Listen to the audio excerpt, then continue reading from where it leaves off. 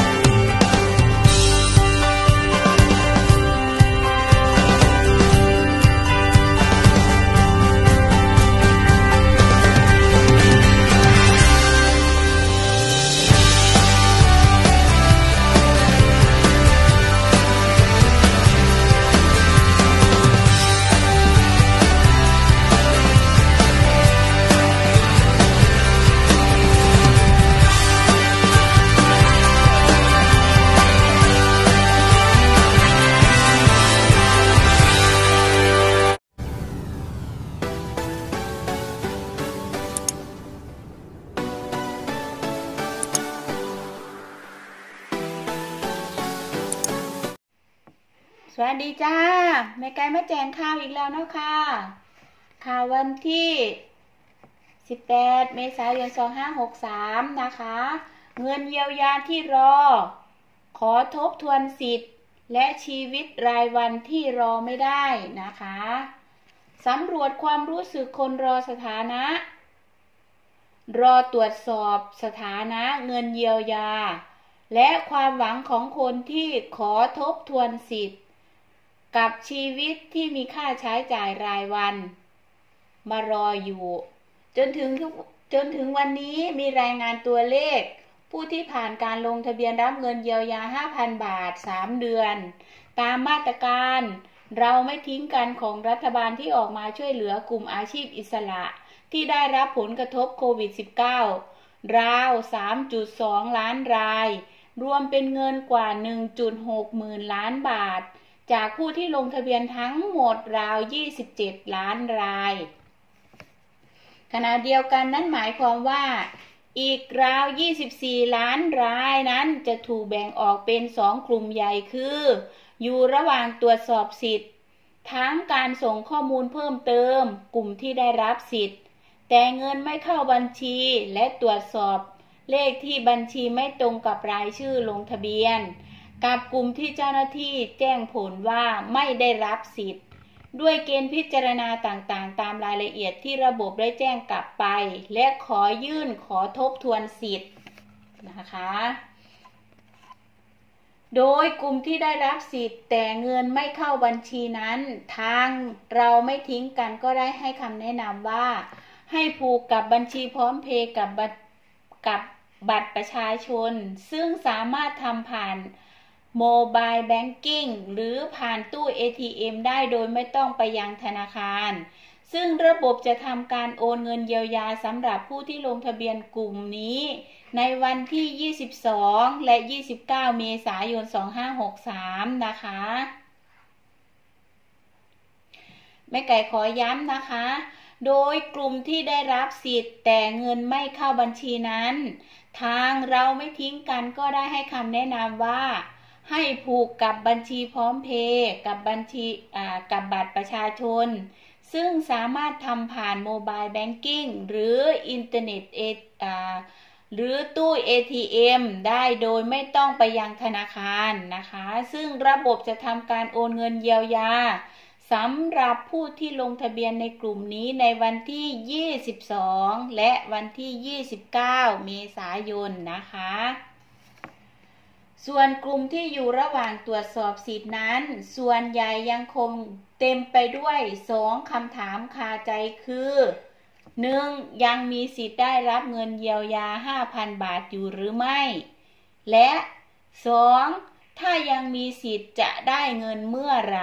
นี้นะคะสองคำถามนะคะ เรื่องนี้สำนักงาน เศรษฐกิจการคลังชี้แจงว่า ขณะนี้กำลังเร่งตรวจสอบสถานะขออภัยค่ะ ทั้งสองเรื่องนี้สำนักงานเศรษฐกิจการการคลังชี้แจงว่า ขณะนี้กำลังเร่งตรวจสอบสถานะของผู้ลงทะเบียนรับสิทธิ์ให้เร็วที่สุด โดยการตรวจสอบคัดกรองผู้ลงทะเบียนแต่ละราย จะใช้ระยะเวลามากน้อยไม่เท่ากัน ขึ้นอยู่กับข้อมูลการประกอบอาชีพของผู้ที่ลงทะเบียนไว้ได้ระบุไว้นะคะ รวมทั้งจะต้องนำไปตรวจสอบกับฐานข้อมูลของหน่วยงานของรัฐที่เกี่ยวข้องด้วย เพื่อให้สามารถระบุตัวผู้ที่ได้รับผลกระทบอย่างแท้จริงนะคะ ส่วนการเปิดให้ขอทบทวนสิทธิ์ในวันที่ 20 เมษายนนั้น จะเปิดให้ประชาชนที่ไม่ผ่านเกณฑ์ และไม่ไม่เห็นด้วยกับผลการตรวจสอบและคัดกรอง ยื่นขอ ทบทวนสิทธิ์ ก่อนที่จะเป็นกลุ่มประชาชนที่กดยกเลิกการลงทะเบียนที่เข้าใจผิดได้ ยื่นเรื่องต่อไป และหลังจากที่ครั้งร่วมกับมหาไทยลงพื้นที่ยืนยันตัวตน และความเดือดร้อนแล้ว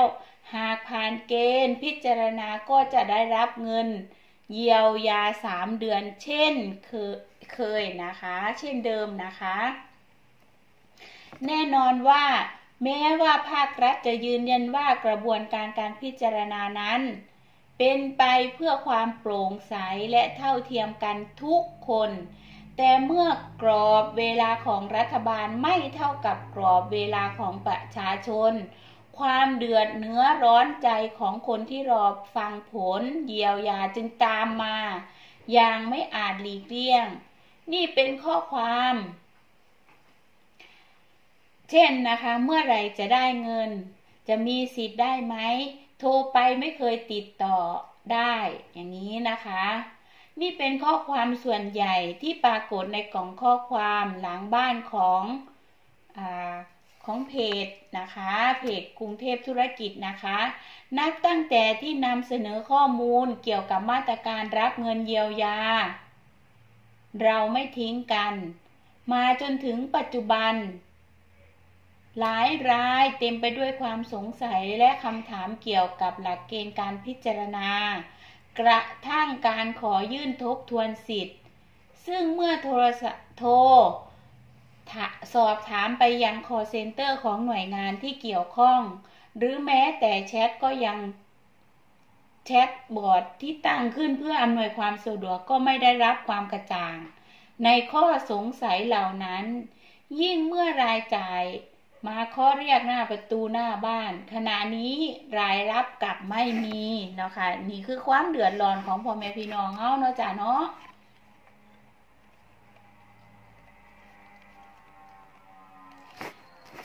เรื่องไม่ต่างจากแบบสำรวจของสกสว โดยคณะ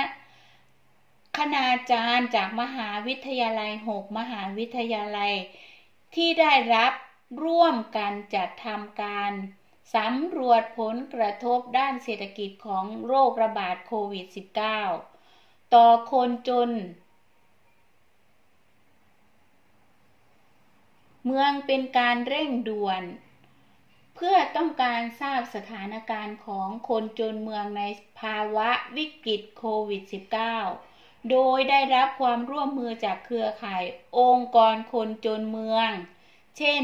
เครือข่ายสลัมสีภาค ชุมชนแออัดในพื้นที่คลองเตย และพื้นที่อื่นๆ ทั่วทุกภูมิภาคของประเทศ ได้แก่กรุงเทพและปริมณฑลเชียงใหม่ สงขลา ชนบุรี ขอนแก่น และจังหวัดอื่นๆ รวม 18 จังหวัดเมื่อวันที่ 9 ถึงวันที่ 12 เมษายนที่ผ่านมา นะคะ ผลการสำรวจดังกล่าวพบว่า โดยส่วนใหญ่ของผู้ที่ตอบแบบสอบถาม รับจ้างรายเดือน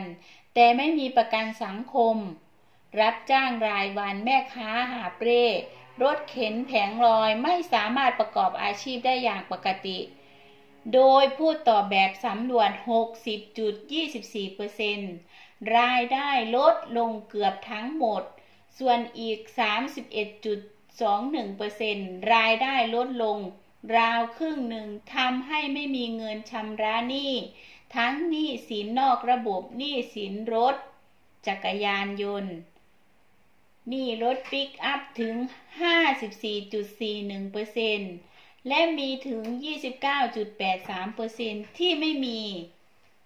รายได้ถึงขนาดประสบปัญหาการกินอยู่ในชีวิตประจำวันนะคะ อันนี้ก็คือความเดือดร้อนของพ่อแม่พี่น้องเราเนาะจ้าเนาะ ในจำนวนนี้ครึ่งหนึ่งนะคะก็คือ 66.67%ที่พยายามจะลงทะเบียนในโครงการ เราไม่ทิ้งกันของรัฐบาลจะให้เงินช่วยเหลือคนละ 5,000 บาทต่อเดือนเป็นเวลา 3 เดือน โดยลงทะเบียนสำเร็จ 51.87%และลงทะเบียนไม่สำเร็จ 14.60%และมี 28.99% ไม่ได้ลงทะเบียน เพราะทราบว่า ตนเองขาดคุณสมบัตินะคะ หากเรา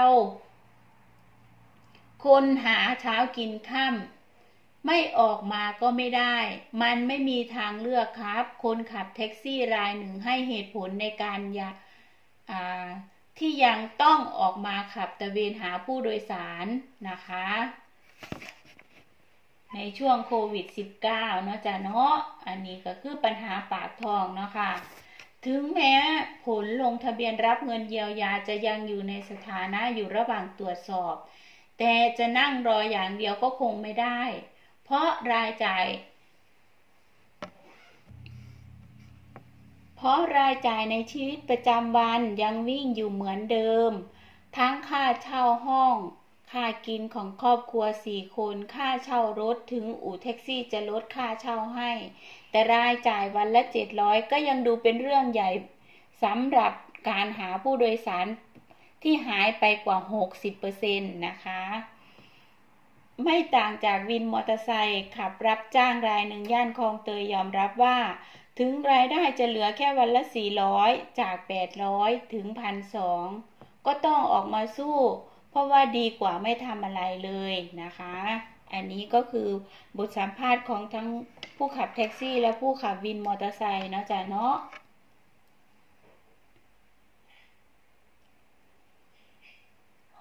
กลุ่มสาธารณะเราไม่ทิ้งกันบนเฟซบุ๊กที่มีสมาชิกราวกว่า